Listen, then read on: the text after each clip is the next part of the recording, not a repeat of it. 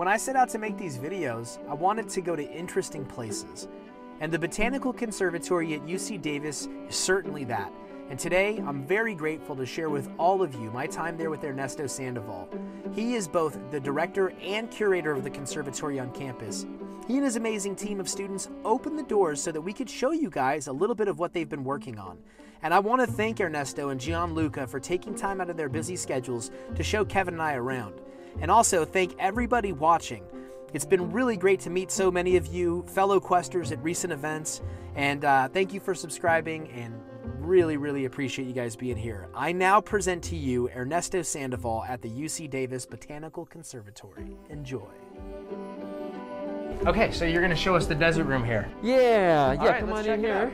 All right. So what I want to show you a, a couple things that we're propagating. One, um, we've been pollinating our Dendrosicyos. This plant has sometimes has, has uh, um, uh, female flowers, uh, but it, it's oftentimes more. It sort of tends towards more towards male. Right. I'll take you over and I'll show you the female here in a second. So I heard this is the But- smaller of the two that you have. Uh, no, you know, actually, this is the largest of the, uh, the cucumber trees, the Dendrosicyos. It's the biggest one I've ever seen. Yeah, yeah. So, and this is the old. This is probably the original seedling that we've had for uh, since I think 1969, something like that. Um, and it actually has been kind of tortured. Yeah. So um, we actually grow grow them much faster now because we've realized that with a lot of these leafy desert plants, if you water them, they grow. Yeah. Shocking. Yeah, it's like it's like a magic trick. Yeah, really. yeah. It's you know because these things make leaves when it when it's when it's there's water and drop them when it's dry, and so in cultivation, if you keep them moist more than in, in the wild, they grow much faster. And is this Okay. something that you're propagating primarily from seed, or would you also be propagating this from cutting? Only from seed. Only from seed. Doesn't do. People haven't had any success uh, rooting them from cuttings. Gotcha. What's, So, what's the issue with rooting them from cuttings? You know, um, it's probably an issue of rot. Just like uh, some pathogen fungus gets in there. Yeah, Gotcha. yeah. There's just some things that you know just don't work well like that. Another example is Welwitschia over here. Right. This is actually a female. Uh, she made some cones earlier this year, but uh, she had some complications from from uh, desiccation. Right. Uh, and so she, we lost the, the batch of cones. You can see a bunch of them forming right here. So I'm gonna have a lot coming up pretty soon. And it seems like you've had a lot. I mean, you can see all Oh, the holes from the mhm. previous. These are the ones that I these are these are the ones that I that, that I, I lost. Uh, I was I was gone for a while and the plant didn't get watered enough so that it aborted the cones.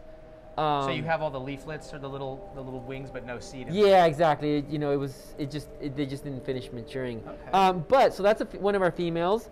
This is one of our males here. So I've been um, this is the last batch of, of, of, of male cones that I harvested the pollen from, and I'll show you the female in a second. Okay. So we've been pollinating this because you know people out there uh, really want it, and part of our main job here at the conservatory is to grow plants for teaching purposes here on campus. Right. Okay. Teaching, research, and then uh, um, sort of public support. Well, outreach is the other big arm of the university. Right. And so the way we d- we consider one of the ways that we do outreach is by growing plants that are hard to get and putting them out there. Gotcha. Um, and so we propagate, you know, Welwitschia. So And, and with certain plants, well, which not so much, but with some plants, by getting that plant material out there for the rarer plants, you're also sort of just relieving a little pressure off the habitats. exactly, yeah, yeah. have a lot of Mhm. pressure on them yeah, at the moment. Yeah. I mean, you know, truth be told, not too many people are going to make it over to Socotra. Uh, No. okay, to, to harvest more uh, more seed of this plant. Um, so uh, we're one of the main producers of, of seedling of, of seed of this plant. There's other people in the world that have them now, but uh, for a while we were the first ones that were producing seed of that So plant. uh, it's it's it's uh, pretty likely that any of the ones I've seen in collections in Southern California originated right here. Exactly. very yeah. cool. They're they're progeny from from this plant, and it's a, it's it is it, it, it- you know right now it only has male, male flowers, but it is a male female plant. Yeah. Has male and female flowers like most cucurbits. Um, well, some of them, uh, many of them, and so it, it, it has been selfed and made babies of it. Yeah. So I'm going to sh- bring you over here and show you our our, our um, uh, female well Welwitschia that's currently coning. Yeah. So here we go. Ta-da. It's so crazy. They look Um. almost like a glaucous blue. Yeah, yeah. And so apparently, um, you know, and I'm not really that familiar with it, but people talk about the Angolian pop, Angolan populations and the um, Namibian? Namibian populations, and apparently the ones from Angola grow a little bit faster. Interesting. Their cones are a little bit different, and so this might be the Angolan, because that one over there didn't have that blue in the cones that this one Very did. Very interesting. See, I wasn't I wasn't aware that. I did know, like with uh, Cyphostemma juttae, you have the Namibian and the Angolan form, and one grows a little fatter and more stout, and the other one grows taller. And I bet you it's the Angolan one that goes taller because it's a little more mesic there, Yeah. wetter. I- I- that- Um, is that the northern form, Angolan? Uh-huh, yeah. Yeah. Okay. Northern yes, it is. Angola, Yeah. When I was there in, uh, back in 2008 uh, to see these in the wild, and it was really funny because I got a uh, I got a, um, a GPS coordinates from somebody to find uh, the, some outside of this town called Khorixas, Yeah. uh, which is inland in an area where there's uh, acacia forests. The, the ones that I saw were like really meager. They'd been like eaten by goats, etc. And then we're driving on this road out to the coast uh, towards where, where, where the area where the big, really big welwitschias Right. are. On the road there, just outside of where I was looking at these plants, we were driving along and like I'm seeing Aloe claviflora and like a bunch of like hundreds of little plants of welwitschia. Wow. And I regret not stopping to photograph them Yeah. because these plants were like they were growing from seed. There was tons of them, unlike the ones that are out um, in that area where you know it doesn't rain right, Right. along the coast. Right. So, so that was, it was kind of fun to see. I've that. seen uh, in Phoenix, Arizona, at Arizona Cactus Sales, they've got one in the ground there, and they told me that it's in uh, two feet of decomposed granite, and that's it. They said they put it in when it was had a wingspan of about 24 inches, so about a foot long each leaf. Yeah. And it's been there for four years, and it's about that size. Oh yeah. It's These- it's pretty spectacular. Yeah, I mean, yeah. you know, very very cool. I'd like to get one in the ground myself. I might be yeah, right. And see, we, we point. can't do that. We can't even put them outside here because it's Northern California. How often do you water the Welwitschias? Good question. Because they're not a Uh, succulent. No, they're not. They're a, they're a phreatophyte. They're a plant that makes a, under, a taproot that goes way deep underground. You don't need to grow them in the tubes like this. This is the classic way of doing it, but they don't really need it. But they have this long taproot to get water, and so I water them two to three times a week. Okay. Okay. And, And- and so when you say you water them, misting, No, overhead no, water, I, I flood soaking- them. I go in. These are in pure gravel. Okay. Uh, I think this one over here is in pumice, and I just go in there and just flood the pot so to make sure water comes out of the bottom. Okay. And just give them a really good soaking. Uh, in fact, the last time I watered this week was on Tuesday, and they really need water. So I'm gonna, as soon as we're done today, I'm gonna come in here and water all the leafy desert plants. Welwitschias was the first plant in my collection that made me stop and treat it different from a cactus. Because I was like, if I have to, I treat everything like a cactus. If it can't live like a cactus, then it's not going to make it here. Ah, and so then I started looking at my Welwitschia, and I'm like, oh, that's not looking too good. Somebody's like, you need to water that thing uh, like Okay. twice, two, three times Okay, a week. And yeah. I'm in, I'm in Los Angeles where it's hot. Oh yeah. So you it's hot and dry. So I water them like I water them probably every three days. Yeah, Yeah. there you go. Yeah. Yeah. When we um uh, in the summertime, I, I have to water them uh, yeah every three days. And and three the the like desiccated leaf tips, that's normal at the end of the leaf. But if you start seeing that creeping towards the center, and what do you call this here? um the I don't know you could call it the caudex the Okay. the head the the stem it's really like this modified modified you know all those plants that are crested Yeah. Welwitschia is the only plant that I know of that is genetically permanently that way. With so many different types of plants that they have here at the conservatory, it almost felt difficult for us to stay focused on one particular thing. But once we finished up in the desert room, we went to go check out all of the carnivorous plants. Let's go check out these carnivorous plants. Do you have any people that grow carnivorous plants that are vegan? Um, that's a really good question. I was thinking about that when I was looking at these. I was like, I wonder what vegans would have to say. Not that, you know, no judgment or anything. I guess I guess you'd have to be kind of an insectivore, huh? Like you'd be you'd be okay with e- eating insects, right? that would technically fall into a paleo diet. I, I Right, imagine, yeah. Some some grub worms and things like that. Yeah. So um, you know, we've we've had these plants for a while, and luckily, you know, uh, there's always been a group of people that are really into carnivorous plants. Uh, I am no carnivorous plants expert. I, I call myself a Jose of all plants, master of none. okay. okay um, um, but but I've you know watched what what what our, our volunteers and student employees et cetera have done over the years and right now we have two student employees uh, one of them has actually done some lectures on carnivorous plants he's a little bit older student and he worked at uh, Santa Barbara Orchid Estates Okay. and so he's he's been working on the on the plants and they show his work as well as the other student that's been working here um, so uh, um, you know just growing them cleaning up um, we, we take cuttings. Uh, you can take stem cuttings of these things. Uh, they're they're an epiphyte, and like I could take like this tip of this uh, Nepenthes ventricosa here, and cut it off and put it in sphagnum moss, and it would root. So Uh, by epiphyte, you mean it grows on other. Yeah, plants. yeah. And you know what? There's also lithophytes, and there's things that grow like on the on the surface of the soil in the rainforest, and they climb, and then they climb up and they root in other places. Sure. And so, you know, the clambering. These are clambering plants. Gotcha. Oh yeah, these are all Southeast Asian. They're you know they they, they bleed over into Australia and and the adjacent islands in that area. Okay. But they're centered around Southeast Asia. Beautiful. Um, yeah, very tropical. And so they, so they, they- a little side note, okay? They um, are from Southeast Asia, and then I don't have my printers here, so we have we have these American pitcher plants, Okay. the Sarracenias, Interesting. and uh, I always joke when I do tours to the students, "Are you my doppelganger?" okay.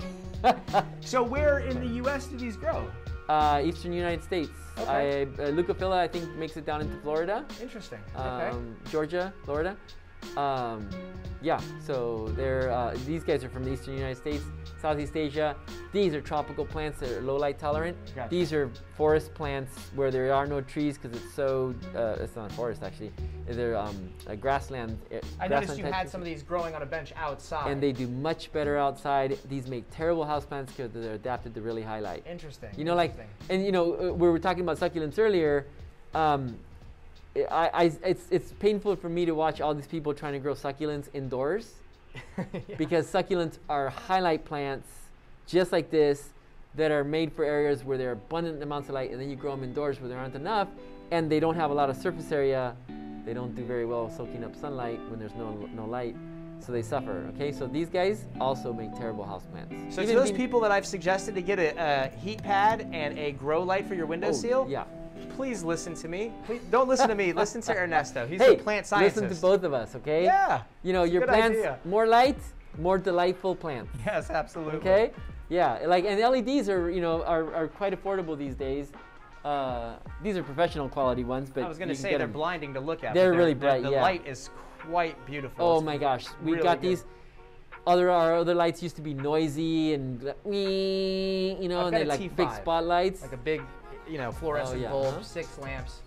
Does the trick for Oh, yeah, propagation in the yeah. garage for now. Mhm, Yeah. So oh, they're great. Now, do you feed these? I beg your pardon? Feed me! I can't. I'm starving! Uh, yes and no. Uh, the Sarracenias, uh, we have them outside, Okay. and uh, sorry, I have an old one here. Oh wow. Um, uh, and so this is this is this has been feeding itself. Shoot, get a close-up themselves shot of that. Look at that. There's like, that's the, it's like cutting open Jaws' stomach and finding license plates. Let's be reasonable, huh? This is not the time or the place to perform some kind of a half-assed autopsy on a fish. You know, what I tell people this is a this is CSI Entomology 2021 Summer Edition. Okay. Perfect. Um, and so so so these guys we, we they feed themselves outside. Okay. Okay. They actually don't do well in the greenhouse even when we have them here under pretty high light. The Nepenthes, here and there. Oh, this one actually. I'm gonna rip it open so you can see the inside here. Okay. Because it actually has a little. It caught a little some ants inside of there. Oh wow. Okay. The ants went marching in. That is rad. Okay. And so we were wondering when we were looking at these, inside of them, this isn't just water, is it? Mo- uh, it is, but let's see if I can find one here. Okay. Okay, that's just liquidy.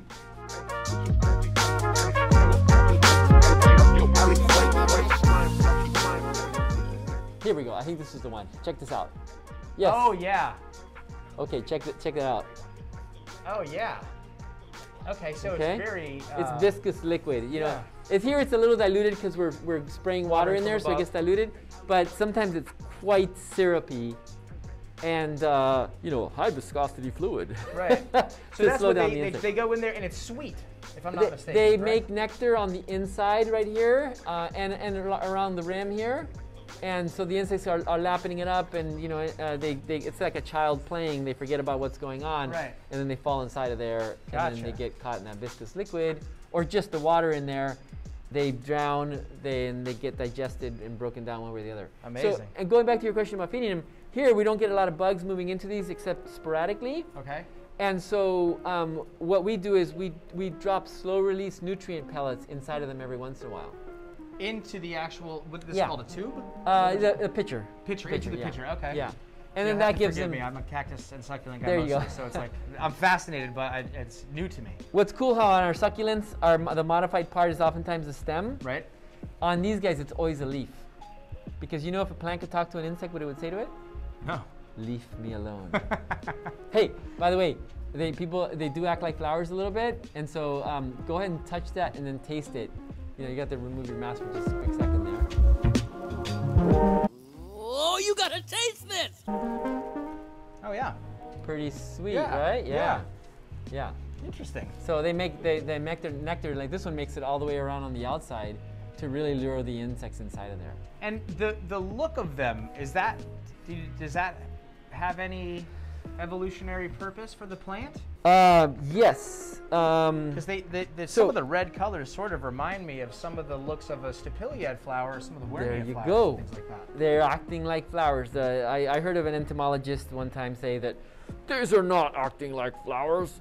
Well, everybody else looks at this and says, that looks like a flower to me.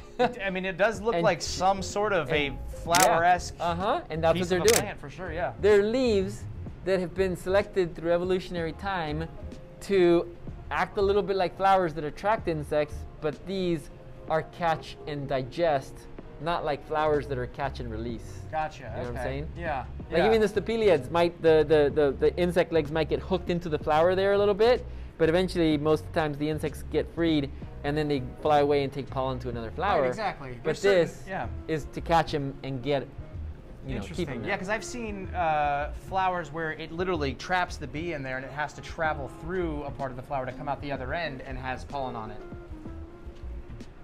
Ta-da! there you go. Okay. So, and this is called. This is um, one of the uh, oh my god phragmipediums or I think it's actually a paphiopedilum, excuse me. Uh, one of the orchids from Southeast Asia. okay, I was gonna say because it looks like an orchid. Yeah. Yeah, and look. Is there not a similarity floating around right there? It must be a, a design that works, huh? Uh, yeah, there you must go. be a design that works. There you go. Yeah. That's so the insects get caught in there, and they have to climb out the backside, and they pick up and drop off pollen. That is amazing. So the insects uh, go inside of there, they fall inside of there, and then they, as they, they walk out the backside, on either side you'll see a stamen sticking out, the male part sticking out the sides. Right. And the insects would first wa- rub up against the female parts, and then rub up against the male parts on their way out.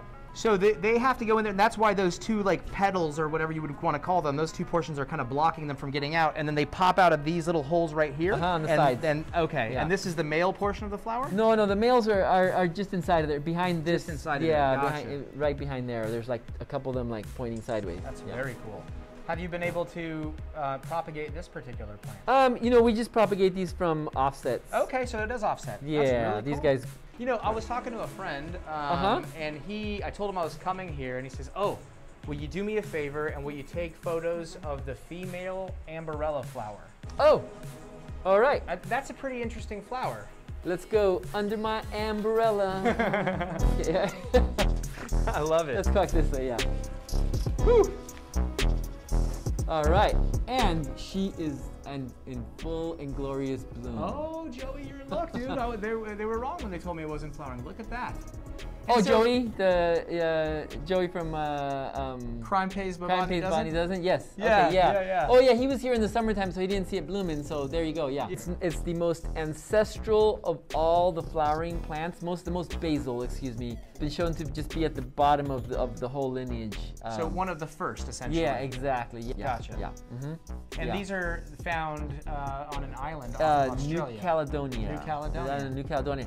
And what's happened is that there's a few of these islands around the world that have never been glaciated, never had, had major geologic events, and so they they basically uh, have that the, you know the earliest history of plants in the world because they like you know California we have fossils of cycads here Right. and ginkgo used to be on this continent I've heard that there are fossils of Welwitschia found in Brazil.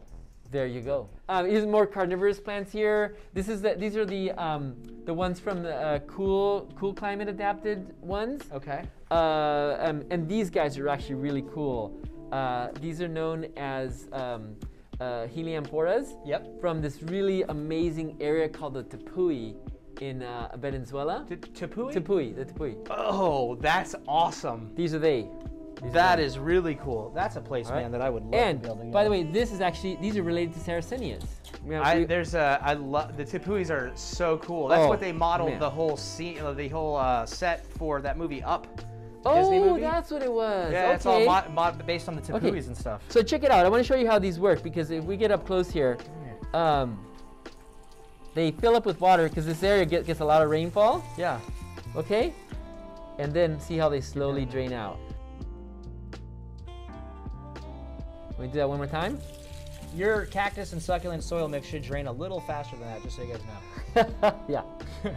That's awesome. See how they they're it's draining out. They have um because they get so much rainfall, they have a little drain hole so that they don't stay flooded with water, so that they have uh, you know this area up here where the insects are gonna fall inside of there and get caught. That's awesome. So which greenhouse are we in right now? Um, this is the conservatory. Okay. This is the the, the, the, the conservatory. Our, this is our primary display greenhouse. Gotcha. Um, and we have, you know, we have a little bit of everything in here because we wanted student, students to come in here and and get sort of inundated with biodiversity. Okay, very cool. Um, yeah, so this is our, our, our sort of public display area.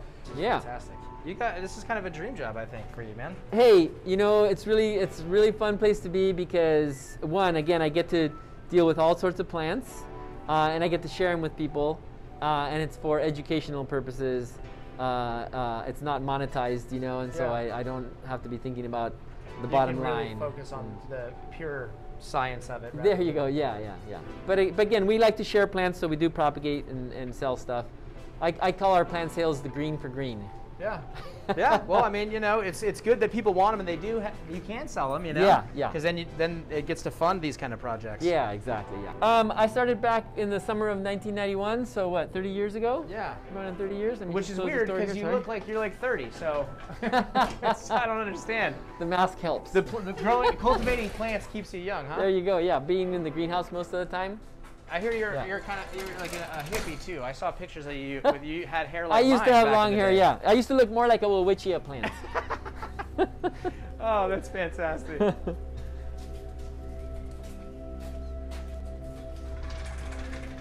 All right.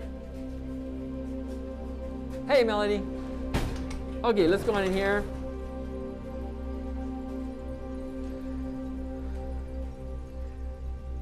So, um, we, we have a, we've had a really hard time over the years having like areas dedicated for propagation and sales because Right. that's not our primary mission. Sure. But uh, this space right here has been one of our sort of uh, our, our propagation areas, uh, where we have almost everything in here is for our plant sales. Gotcha. Um, and uh, so, um, you know, you, you, you, you're asking me to talk about propagation. Well, we do it kind of seasonally for the most part.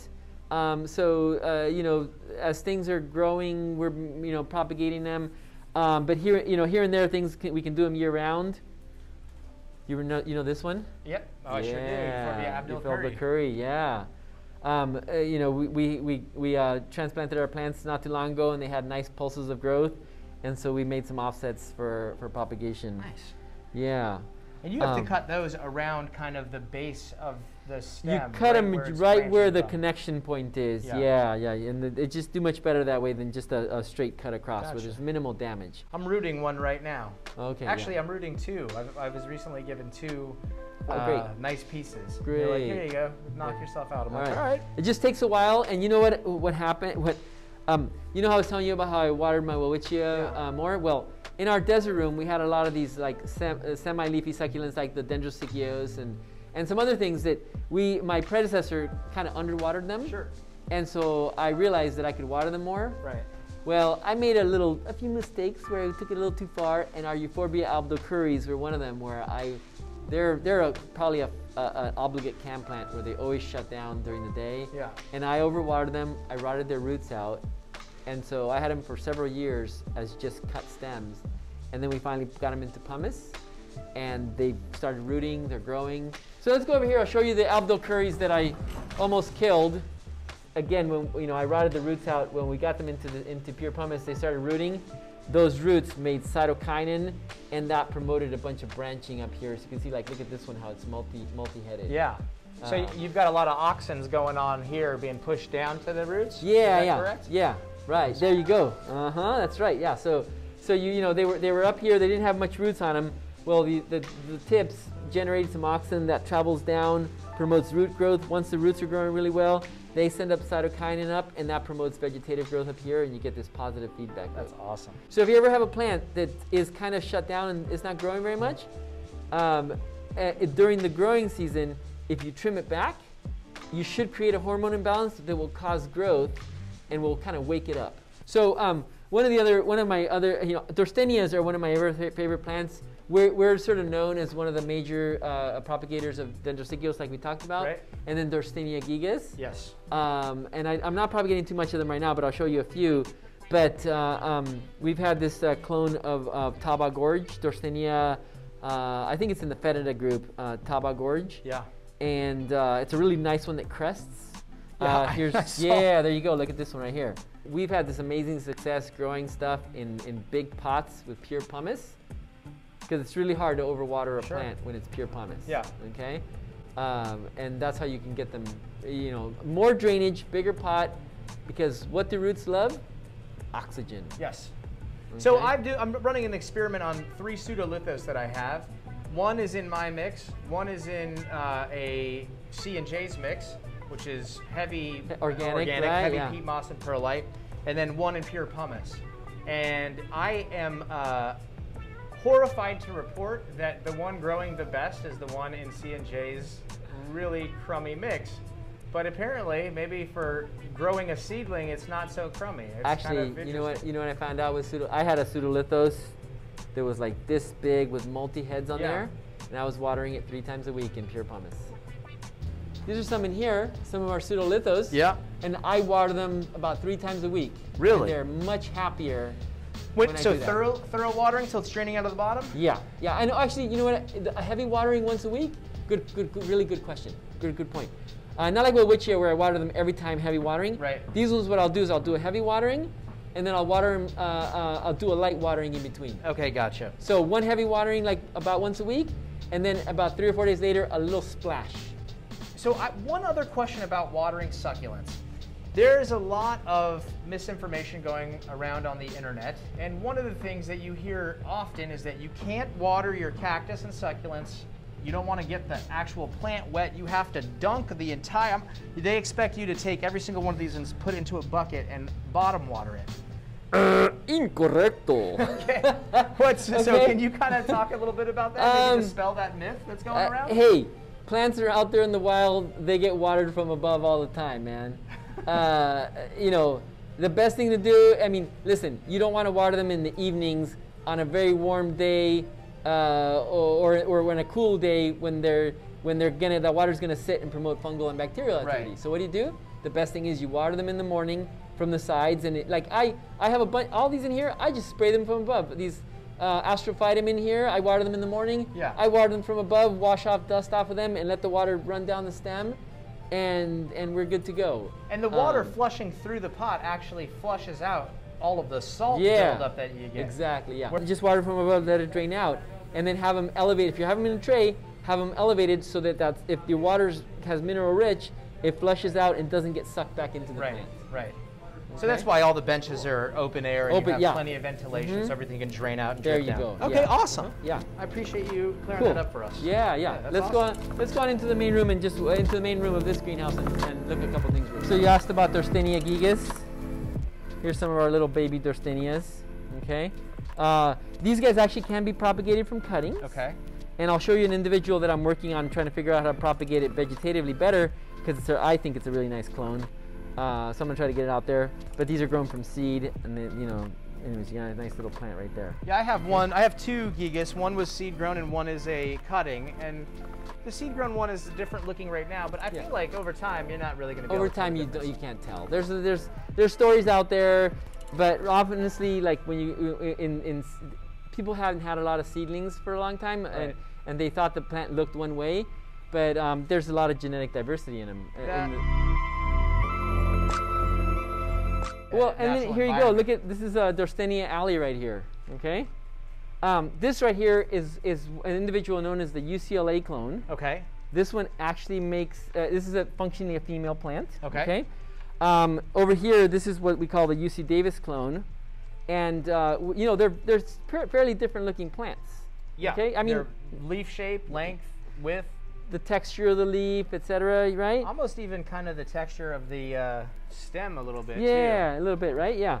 So when you when, you cross these two, um, you get a lot of genetic diversity, F1 diversity. Right. And so um, I've got had quite an assortment of seedlings come out of these.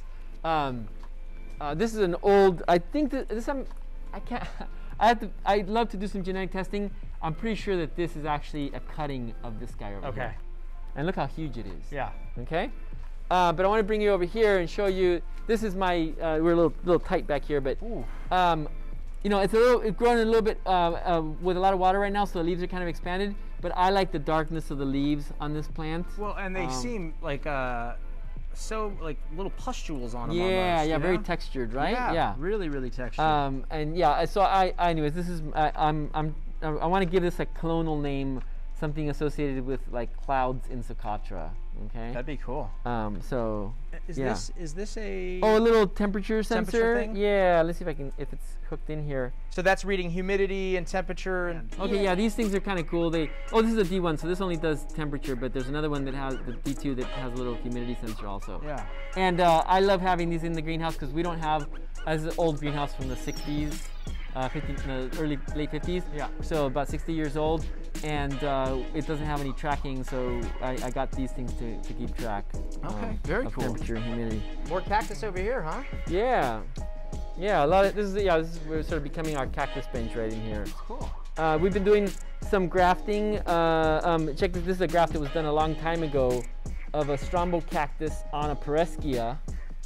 Uh, actually, I'm sorry. This is a Aztekium. What am I saying? A Aztekium. This is our Aztekium uh, um, uh, hintonii. This is our clone, what we call our clone C. Uh, I, yeah, I, I'm, I was thinking of a, a cactus because we have a really old one that's really branched, and we recently recently cut off some of the heads Oh yeah. to graft them. Um, new ones coming too. yeah.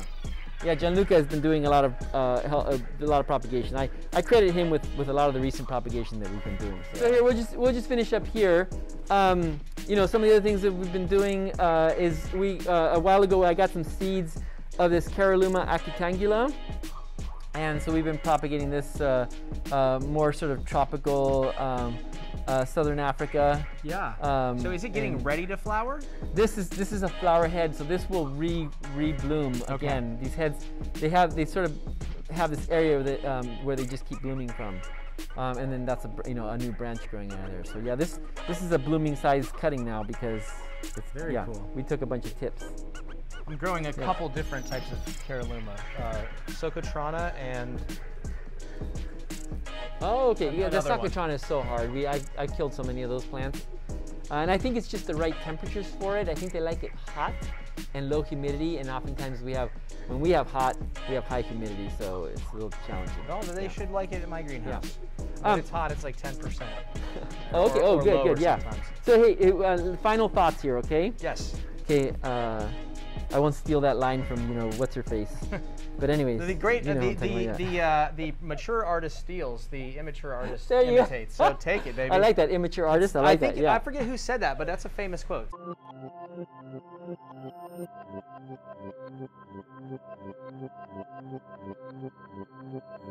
Um, okay, stapeliads. All right, like these ones right here, they crawl, right? They're Right. plants that crawl on the side.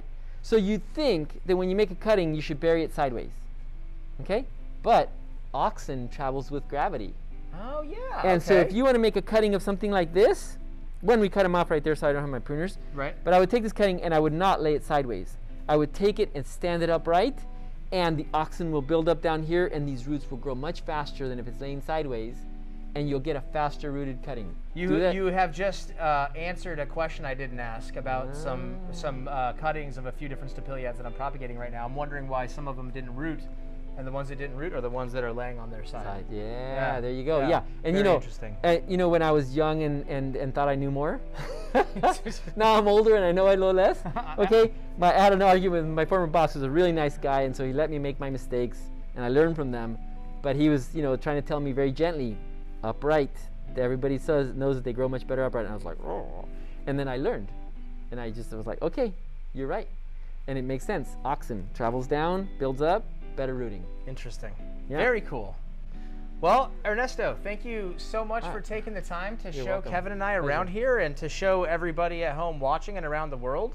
Uh, it's fascinating, and I really, really appreciate it. I know it's difficult for you to do it, and Cool. I super appreciate the Yeah, time that you glad it worked today. out. We did it. Yeah.